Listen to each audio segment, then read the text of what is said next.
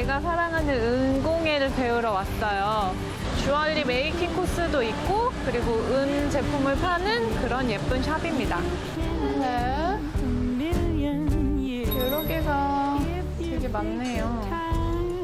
제가 은 너무 좋아해서 저는 한국에서 은공예 클래스를 들은 적이 있는데 스타일이 다를 것 같아요. 선생님의 취향이나 발리 전통 문양 뭐 그런 것들을 따서 만들 수도 있기 때문에 또 기대가 됩니다.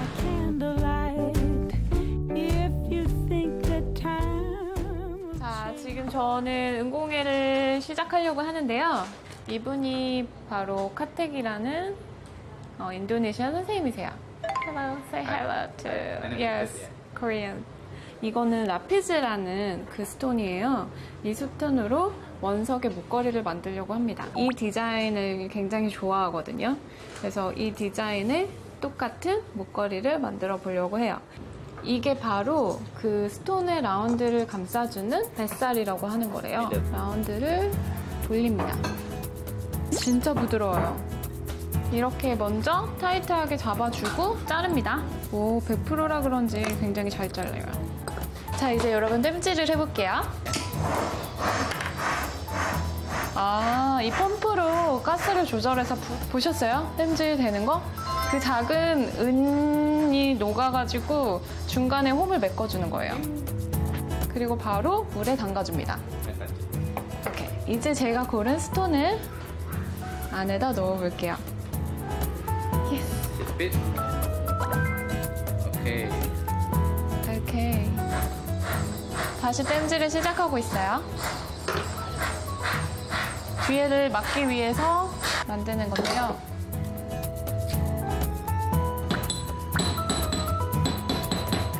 This is uh, less work than uh, food 오케이, bag. 오케이.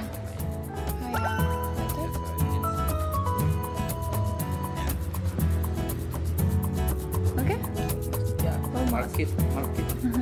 Yeah, right. Yeah. 오케이. 제가 고른 원석이거든요. 얘가 이제 어떻게 변하는지 한번 봐주세요. Let's turn sitting there. 예, So okay. this is 지금 뭘 하셨냐면 stone이 빠지지 않게 안쪽에다가 만든 그 작은 거를 넣은 거예요. 자, 밴드를 두르기 전에 끝에 부분을 좀 부드럽게 갈아주는 sanding 작업을 하려고 해요. 이 sanding 작업이 되게 중요한 게 여러분이 알고 계시는 무광, 유광 뭐 그런 걸 다 약간 까맣게 만드는 것도 다 할 수가 있거든요.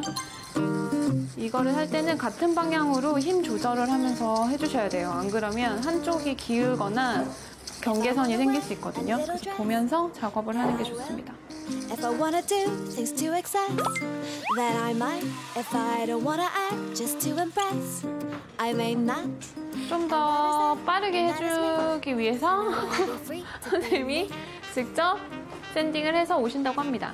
정말 고수신 분들은 기계를 사용해서 샌딩 작업을 하세요. 이제 이 모양을 만들기 위해서 얘로도 밴딩 작업을 합니다, 여러분. Really hard. So, 자릅니다. 다시 땜질을 합니다, 여러분. 아까 만든 거를 이 밴드 위에 안에다가 집어넣습니다. 얹어주고요.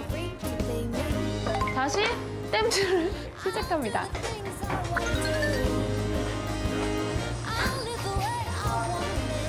다리 아파. 오케이. 영감 왜 불러 뒤들으며 나는 병아리 현상을 보아서 보았지 I